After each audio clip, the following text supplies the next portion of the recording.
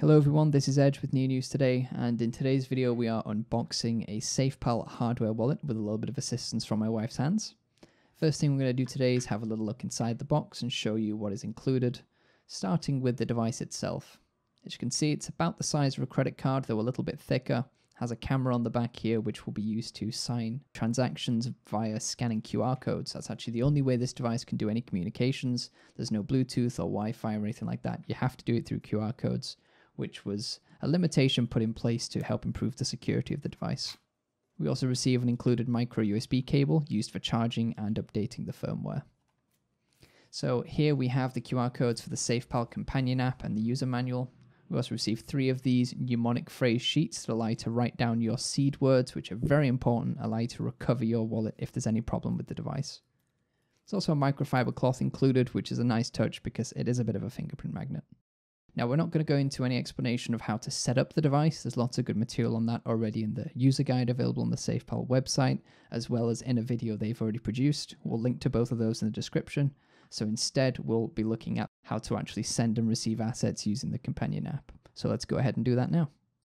So once you've got the companion app and your hardware wallet paired together, it's relatively easy to do any transactions. So the first thing we're going to do here is use the O3 wallet on the right to scan this receiving public address, just a normal NEO address that you would expect to see anywhere else.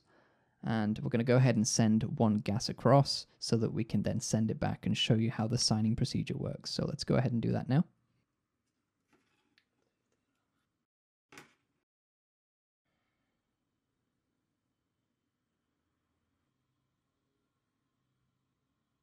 Okay, so we go ahead and refresh and we can see there that we now have one gas. So let's go ahead and send that back to show you how the signing process actually works. So the first thing we'll do is go ahead and scan this QR code that'll uh, allow us to easily enter our receiving address there. One quite nice feature about this wallet is that you can actually denominate your transactions in a fiat currency of your choice, such as USD. But for now, let's go ahead and just do a transfer of one gas. So here the confirmation pops up and we now need to use the hardware wallet itself to sign this transaction. Remember the SafePal wallet is actually storing your private key, so this is what you will need when you do any transfers. So we'll go ahead and select scan and scan that QR code.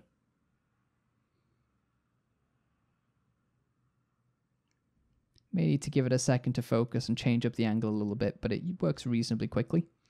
When you do your device setup, you will make yourself a PIN code. That's how you will log into your device essentially.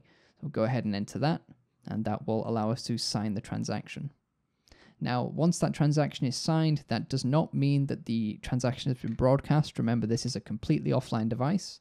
So what we're going to need to do is scan this dynamic QR code here, which will allow us to broadcast the transaction.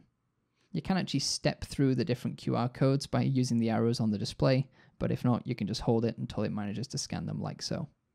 And there we are, hit confirm, and that will broadcast our transaction on the chain, and then we should receive our one gas back.